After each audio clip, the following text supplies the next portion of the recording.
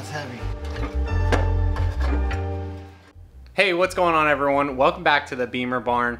In today's episode, we're going to be servicing the oil pan gasket on my E46 wagon.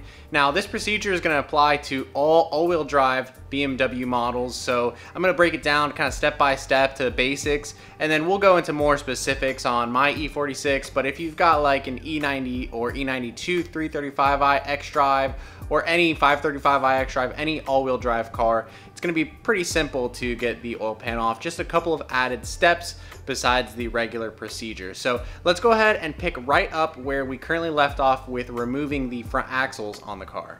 Now, if you didn't see my previous episode, we removed the front axle shafts out of the car. And right after we finished making that video, I just removed the 18 millimeter bolts that hold the struts to the spindles. And then the spindles came right down. Now I removed the uh, 18 millimeter or the 21 millimeter bolt that holds the control arm. So the control arms are back there with the axles.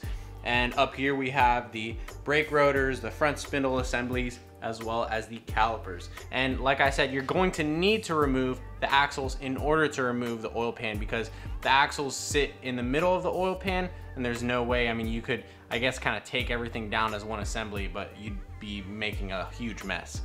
So what's next you might ask? Well, we definitely need to remove the subframe in order to get access to the differential. You can see the opening there, that is the differential and the front differential shaft right there. So in order to get that down, we need to get this subframe removed. That you can see this steel beam here, a little bit of rust on it. We're gonna see if we can clean it up at the same time comes up right here. And this is a very different subframe than the rear wheel drive car. So if you're trying to see where the bolt locations are, they're different between the two.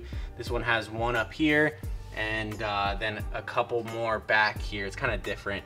The factory rear wheel drive subframe actually has a mounting spot that is right there and uh, it's capped. I think that you can use a rear wheel drive subframe and all that, but if you're gonna do a real drive conversion on this car, you're gonna have an issue with the transmission cross member because the transmission tunnels are different. Now, since that subframe is holding essentially the entire motor, we're gonna have to put a cross brace up here from side to side that's gonna hold the motor and suspend it in the air while we pull everything off from the bottom. So let me show you guys that and let's go ahead and get it set up on the car.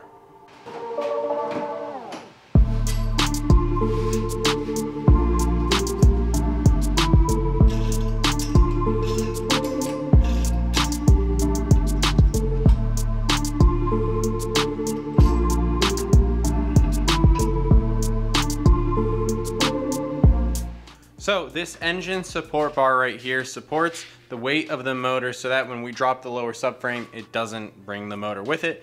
Uh, you can see on the M54s, they come with this neat little uh, factory hook location. So if you've got a tool like this, makes it really simple to grab onto. And you wanna make sure that when you're using one of these tools, that the legs here are on the frames of the car. So like the frame rails there, like the fender rails. So those are strong enough to withstand the weight of the engine and just tightening this up just a little bit to lift the motor so that when we drop the subframe it doesn't move too much is uh, what we've already done. So the next thing that we're gonna do is go under the car and start working to get that subframe loose.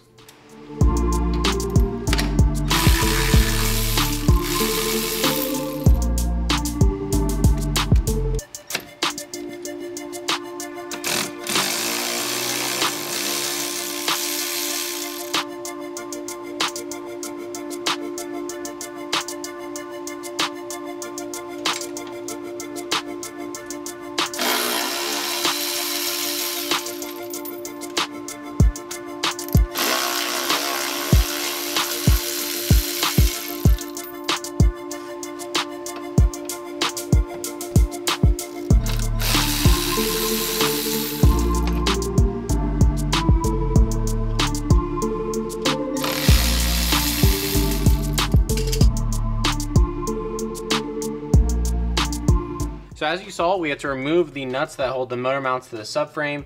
Then I got this bolt right here for the steering shaft, which we're gonna remove in a second. Goose is straight chilling under the subframe here. Also had to remove the sway bar end links on both sides because the sway bar is attached to the subframe, so it's gonna come down. But now the next thing that we're gonna have to do, and let me see if I can get the steering shaft off easily, make it look easy for you guys. There you go. Oh yeah. Look at that. See, it, it, it, goes easy when the camera's rolling. So that lifts straight up and that's part of the steering column right there. So it'll stay up in the air and the uh, steering rack's gonna come down. But obviously, uh, the steering rack is still connected by some uh, power steering lines and they're really hard to see, but they're right there at the front of the steering rack. So we're gonna have to pull those off so that the steering rack isn't bunched up by anything. And then we'll be able to uh, drop it with the subframe so it'll stay 100% attached.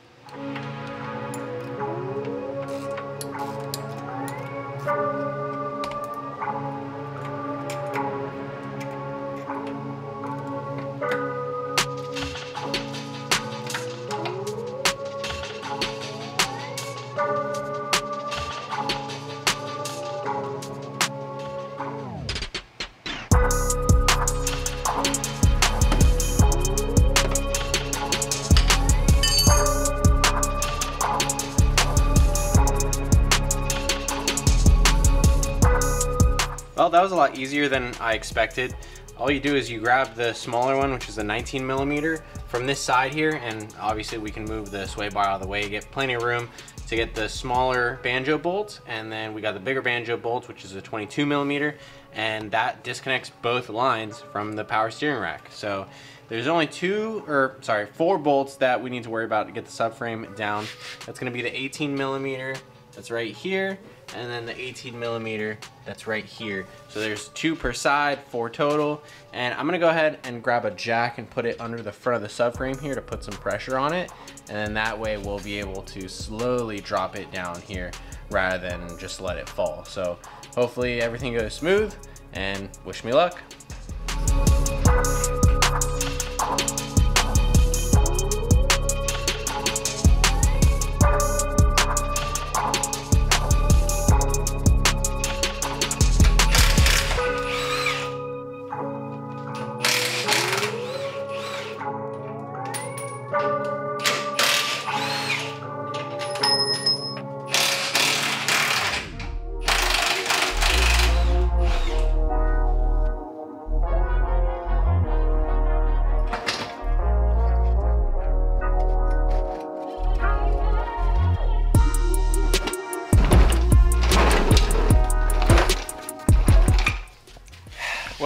There it is. Our entire lower subframe removed from the car, completely free. Um, made a little bit of a mess with the power steering because some still is coming out of the reservoir, but uh, try to get as much of it with the uh, container as possible. So yeah, it's completely free now here, the two banjo bolts I was telling you about pretty basic to get these subframes off. And now we've got access to the oil pan and the differential here. So what we're gonna have to do now is remove the front drive shaft because that is holding itself to the differential and then we'll be able to remove the differential and then eventually the whole oil pan.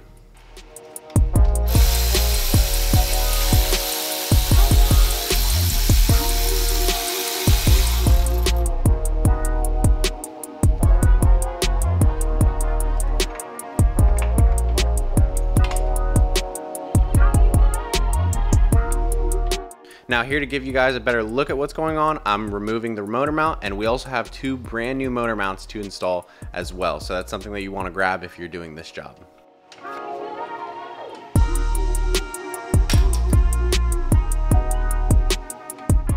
Now before we drop the differential, we have to drain the fluid out of it. So here I'm using a 14 millimeter Allen on a socket in order to get both of the plugs loose and that's gonna let all the fluid out of it.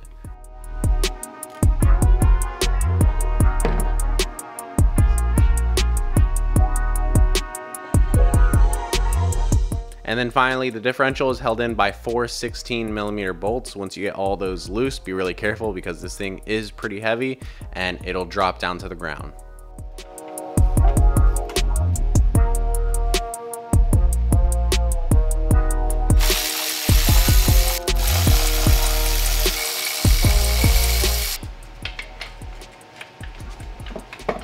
Oh, that's heavy. Ugh.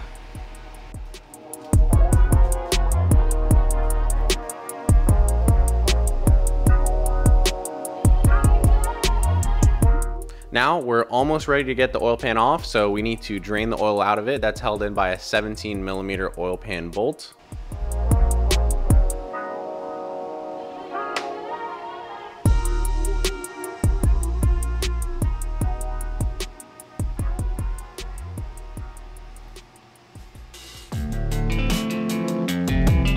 And then over here, we need to disconnect the ground line that's connecting the motor to the chassis. That's held in by a 13 millimeter nut. Now here you can see that I'm removing the transmission line bracket.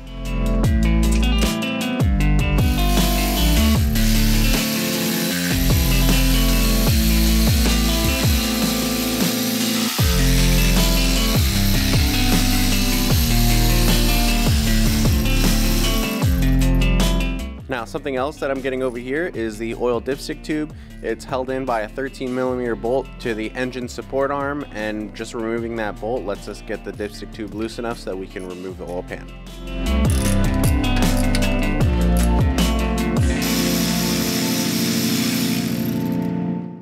Now we got the oil pan loose, but it's not gonna come down all the way until we remove the power steering pump. So here I'm removing the fan clutch assembly and the shroud so that I can get the belt loose and then I'm loosening the three bolts that hold the power steering pump on. You can see my other video if you want more detail where we changed the pulleys and belts on this M54.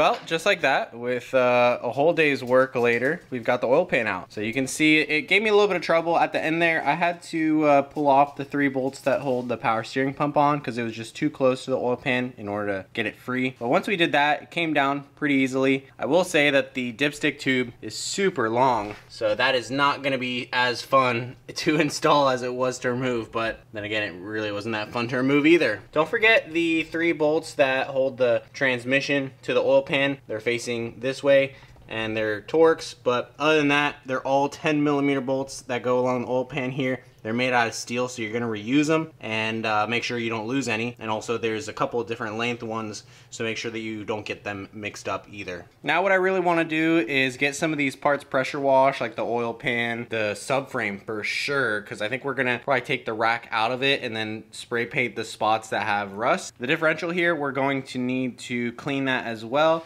We have new seals for everything, so the diff, the axles that go into the diff, and everything. Everything's got new seals for us to replace, including the oil pan gasket. I also have the E46 oil pump nut mod that we're gonna be doing, so stay tuned for that next episode.